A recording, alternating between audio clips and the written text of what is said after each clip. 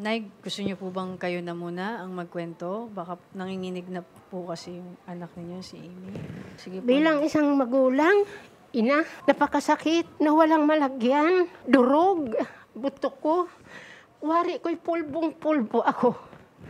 Dahil sa murang edad ng anak ko, sinasamantalahan ng walang kakwenta-kwenta, itinuturing ko siyang bilang isang anak din. Sa biglang kabila ng lahat, binaboy niya na walang pararakang pagbababoy. Napakasakit sa bilang isang magulang na tinuturuan mo anak mo, pinapaaral mo, gumapang ka sa anong hirap, na para lang makaraos makapagpaaral ako ng anak ko, kaisa-isa ko pang anak, binaboy niya pa. Kaisa-isang anak niyo po. Opo, ma'am. Anim na buwan lang po yan. Laking incubator pa po. Yan, masakit po sa akin lahat. Sa ngayon sa akin, durog ako. Hindi ko alam paano ko ibangon. Paano ko ibangon ang karangalan ng aking anak. Paano po ninyo unang nalaman itong ginawa po sa anak ninyo? Ma'am, nahalata ko po siya mula nung October, latang-lata. Tuwing tinatanong ko, na paano ka ba? Anong nangyari na? Wala, ma. Siguro ma, natrangkaso lang ako. Tiwala din ako kasi kami-kami lang. Wala sa isip ko na gagawin niya.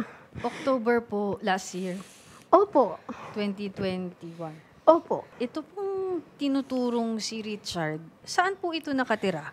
Bali, dyan lang din po sa compound na yan. So kapitbahay niyo po. Opo. At pinsan po. ni- Opo, kap- magkapatid kami yung nanay niya. At ito pong Richard na to, kasi 40 years old na to, may pamilya ba to? Meron po. May asawa at anak. Meron po. Paano niyo po napaamin na may nangyayari palang masama? Wala akong sawa na, anak, anong nangyari? Hindi ka ganyan. Nak, iturin mo akong kaibigan. Bilang nanay, wag mo na lang ako turing nanay, kaibigan pati. Sa unti-unti, unti-unti kung paamin sa kanya, yun, umamin naman din. At sabi niya pa nga sa akin, Mama, sorry. Kasi yung tiwala niya sa akin, nasira. Nak, sabi ko, anong nangyari? Umamin siya doon, ma'am. Nung inamin niya, ah, gusto ko nang mawala sa mundo. Paano yung unang beses na ginawa sa kanya to?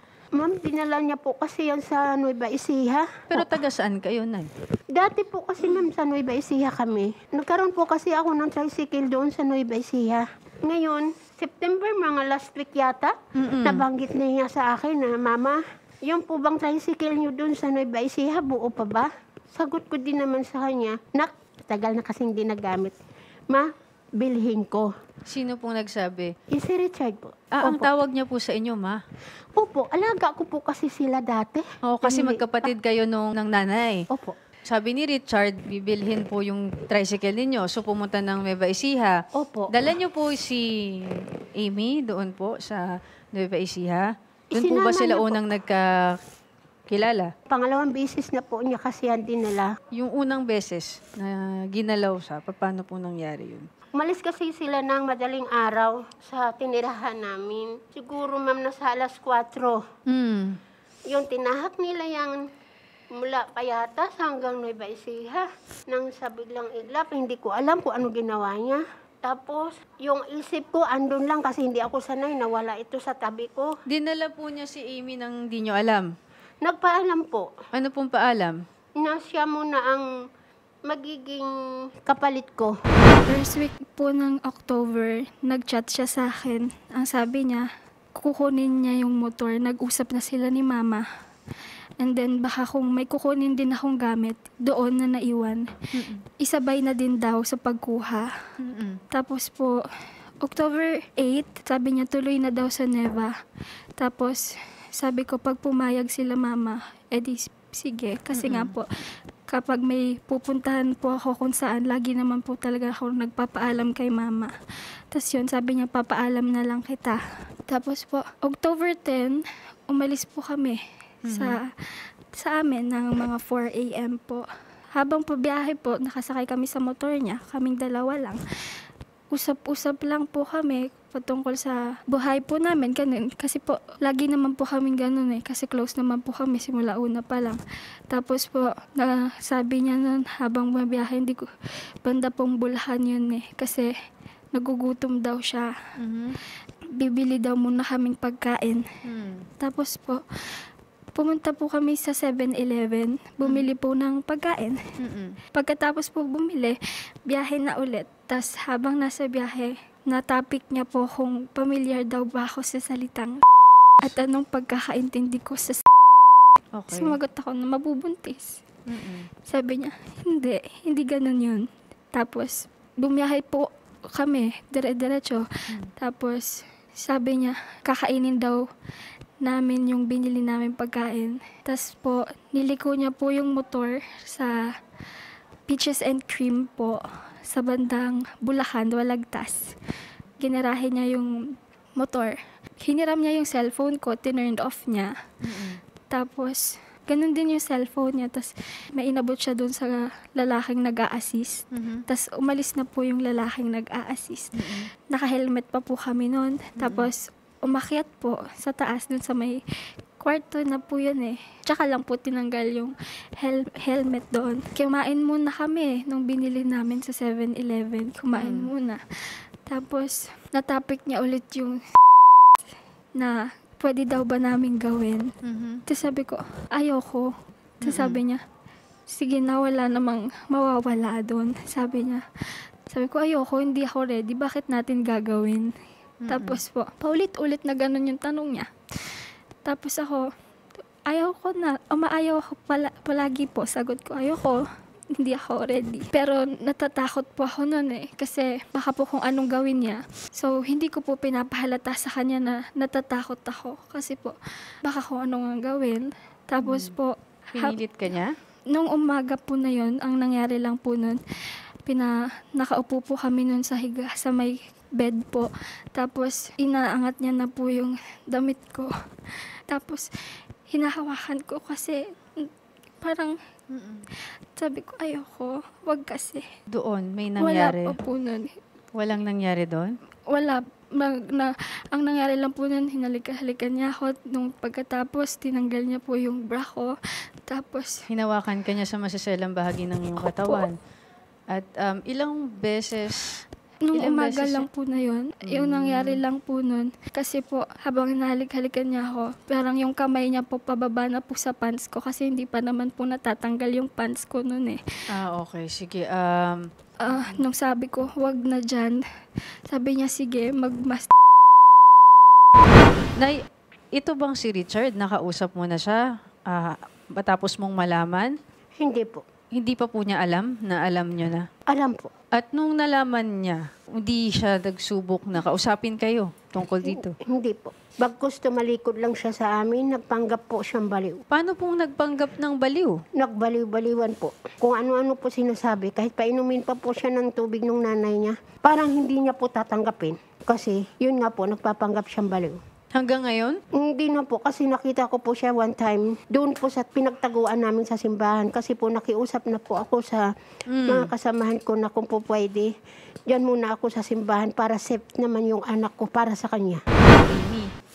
Pa- Paano? Blinakmail ka ba niya? Sinabi ba niya na pag hindi ka papayag, ano, meron ba siyang pinangahawakan sa'yo? Kaya, kaya kanya napasunod? Sabi niya po, ano, wag daw sasabihan kasi pag may, once na may nakaalam, mahihirapan. So, natakot po ako. Tsaka po, kaya hindi din ako nakapagsumbong kasi nandun po kami sa compound nila. Mahihirapan sino? Ako po siguro or baka idamay sila mama.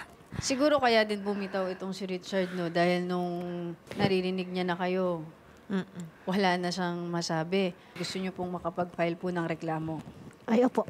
Mayroong talagang mga pagkakataon kung sino pa yung pinagkakatiwalaan kasi ng biktima eh. Katulad nung nangyari kay Amy, yung tiwala siya dun sa tao, ngayon yung tiwala niya, lalo na bata ito, minor de edad, eh, yun yung ginamit nitong si Richard, no? Para pagsamantalahan siya. Opo. Hindi niya kasi po dapat gawin sa anak ko kasi mura pa po edad. At hindi ko po talaga tinuturuan siya ng yung kakaiba o pangit sa paningin ng kapwa. Para na lang din po sa mga nanonood ngayon, kung makita niyo po ito, iiwas niyo na po ang inyong mga minor de edad na anak o anuman. Meron po ba kayong gustong mensahe? Mensahe ko po sa kanya, saan mo nakuha ugali mo na yan? Mula maliliit pa kayo, halos lahat sa inyo ko ibibigay. Bawat hingi nyo sa akin, andun. Kahit anong hirap buhay katulong, pero hindi ako nagkukulang sa inyo. Pero ano ginanti mo sa akin ngayon? Bakit ginawa mo sa anak ko? Anong nangyari? Ako, wala akong ginawa sa inyo, kundi ang turo ko lang sa inyo, puro kabutihan. Pero anong ginawa mo sa akin? Dinurog mo na. Nilapastangan mo pang anak ko. Dalawa mo pang anak, babae pa. Paano mo nagawa sa anak ko? Hindi ka na ba naawa sa sarili mo? Hindi ka ba naawa sa mga anak mo? Saan ka ngayon haharap? Paano mo haatupagin ang anak mo? Paano mo harapin ngayon ang anak mo? Saan ka dapat kukuha ng dapat ikakaturo sa ikakabuti ng mga anak mo ngayon? Paano mo ngayon itutuwid ang mali mong ginawa sa anak ko? Merong asawa, Meron po. kasal, Opo. at Meron may po. babaeng anak. Opo. Ilang taon yung anak? 18 na po. Mag- 18. Yung isa mag-15. Kung meron siyang anak na 18 at 15 at itong si Amy, 17, parang ako nanginginig na rin ako sa takot. Dr. Camille, Attorney Sam, good afternoon. good afternoon po. Pwede niyo po bang ipaliwanag po sa amin kung ano yung posibleng trauma na nararanasan niya po ngayon dahil po dun sa ginawa sa kanya nitong Richard Suelo na to? actually, malaki epekto niya, lalo na kung sabihin natin na nangyari yun last year, no? Tapos hanggang ngayon, na nangyayari yun at patuloy, ito yan na uh, pwedeng ang batang ito ay doon nag-uumpisa yung trauma kung kailan nakara- yung na- natakot na siya. So, mas matindi siguro, ah, for me something talagang okay sa inyo na, you know, pagpatuloy na i-counseling natin para mag-treat siya, para sa ganun kung talagang kinakailangan na ma- ma- malaman natin kung nagkakaroon ng nightmares o kaya naman eh talagang ah, kung ano, mag-aaral siya, naaapektuhan siya sa pag-aaral, hindi siya nakakapag-concentrate, malaking bagay na talagang kinakailangan ay magabayan itong batang ito. Dahil kasi ang epekto nito pwedeng umabot sa punto habang ano eh, yung nagiging young adult na itong batang ito. At mas mahirap dahil kasi sabihin na natin, yung baka mamaya isipin niyo wala na siyang kinabukasan. Yun po yung nakakatakot, yung pakiramdam na wala na siyang kinabukasan dahil po dun sa, sa nangyari sa kanya. Pag may nalaman tayong biktima po ng ganitong klaseng abuso, talagang sana matulungan po natin kagad. Dok, tama po. Ay, Dahil oo, oo, nakakalungkot po Attorney Sam. yung feeling na gano'n na yun po siguro yung talagang normal na mararamdaman nila na parang wala na silang kwenta. Magandang hapon, Richard, sa Attorney Sam Ferrer. Ito, alam mo bang sa boses mo pa lang, nanginginig na si Amy? Ano po bang ginawa ko, ma'am? Ginahasa mo siya ng paulit-ulit. Hinahasa ng paulit-ulit? Bakit? Hindi mo alam? Wala kang alam? Anong klaseng tanong lalaki ka? Ikaw ang tinuturing kapatid ng anak ko. Ang galing mong mangbula. Ang galing mong lahat. Ang tamis ng pananalita mo. Ikaw dapat ang huwaran dahil ikaw ang mina- pinakamatanda sa lahat ng mga pinsan mo. Bakit ikaw pa ang gumawa sa anak ko ng ganyang kababoy? Saan ka kukuha ng utak mo? Bakit hindi mo ginamit ang utak mo? Tinuring ka namin huwaran sana ko nung matinong tao, pero bakit bigla ang baboy? Baka sa totoo lang, sa napanood ko, tsaka sa nakita ko dyan, hindi ko na alam sasabihin ko. Hindi ko alam kung bakit nyo ginagawa yan. Hmm. Kung ano man ang dahilan, alam nyo yan. Naging kayo ba ni Amy? Anak po niya, pinsang buo ko po yan. Wala kayong relasyon ni Amy. Paano po kami magkakarelasyon, ma'am? 39 na ako, magpo-40 na ako. Hindi naman kami close niyan. Pagtapos ng lahat, hindi mo alam? Hindi mo alam lahat ng ginawa mo? Anong ginawa ko? Anong ginawa ko sa'yo? Ako magmumukhang nagsisinungaling ngayon? Magsabi ka ng tao kung sino. Sige. Anong sino? Sino? May iba pang gumawa Sino sa nga? akin? Di ba ikaw lang naman? Ikaw lang naman. Ako Ako pa ang ano? magmumukhang nagsisinungaling ngayon? Ako Ha? ang ano? Ano ba? Ako ang ano? Anong ginawa ko? Ano? Ako ang ano? Ano? Ano ba ginawa mo sa akin? Papunta tayo sa Nueva Ecija. Tapos? Anong ginawa mo sa akin nun? Huwag mo akong Anong matapos-tapos. ginawa ko sa'yo? Anong ginawa ko sa'yo? Papuntang ng BC. Anong Papunta ginawa ko? ng Sige, Nueva. Ecija, alas 4 ng umaga. Nung umaga na yon, pumunta tayong 7-Eleven, di ba? Yan ba yung may binili tayong motor? Ganon? Oo. Yung nakisuyo si mama mo, Oo. naibenta ko yung motor? Paano O nakisuyo? ano nangyari doon? Paano nakisuyo? Di ba ikaw pa nagsabi na bibilin mo? May chat ka sa akin na sabi mo, pwede pang pakinabangan yon. Mura lang naman bibilin mo. Mura lang naman babayad mo kay mama. O kaya nga, eh kasi ang kagustuhan ko, ma- matulungan kayo. Kaya sabi ko, bibilin ko na lang yung motor. Ano O anong nangyari doon? Anong klaseng tulong? Ano nangyari? Tulong sirain? Tulong sirain ang buhay ng anak ko? Baboy ka. Ano, bakit ko nasira? Bakit Tanongin nasira? mo sarili mo. Nasa TV yung picture ko, buong pangalan ko, eh hindi ko alam kung anong ginawa ko sa inyo. Hindi mo maalala ang ginawa mo? Gusto mo bang magpalay detector? O, Ah, gusto mo ba? yung narinig ko lang po sa TV, medyo Yun- masakit. oh, yun nga, Kaya oh, ito na nga, sir, eh. sa lagay ko. Gusto, wala naman sigurong matinong minor de edad na babaeng gugustuhin na nasa posisyon sila ni Amy ngayon. Kung gusto mo patunayan yung sarili mo, eh, gi- ginagawa naman ng iba, kung talagang confident sila na tama yung sinasabi nila, baka gusto mo magpalay detector, sir. Wala naman po problema sa akin, ma'am. Ako sinasabi ko yung totoo ko. Ano ba yung sinasabi nila na akusasyon? Wala akong alam. Hindi So, ko alam ano. so papayag po Ano kayo. sinasabi nila? Papayag po kayong magpalay detector, sir, para schedule po namin, sir. Wala namang pong problema yun, ma'am. Lahat ng pamilya ko dito, galit sa kanila eh. Ah, Wow. Ayoko lang sabihin. Ayoko lang sabihin.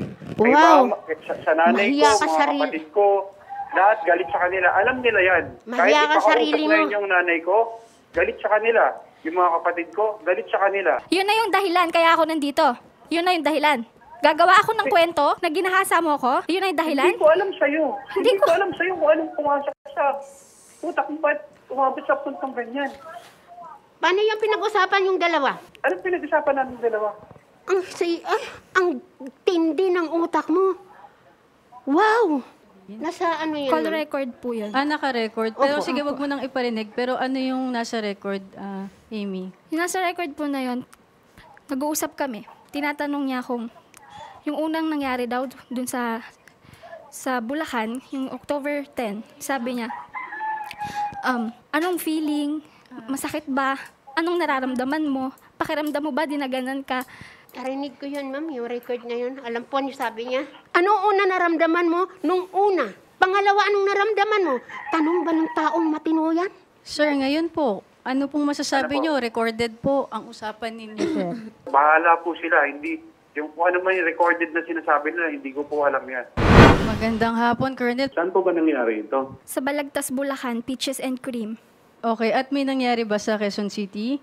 Opo, dyan po Mer- sa amin. meron din po. Meron din pong mga ibang pangyayari po na, na naganap po sa Quezon City, Colonel. Saan po sa Quezon City, ma'am? Sa Payatas po, Colonel.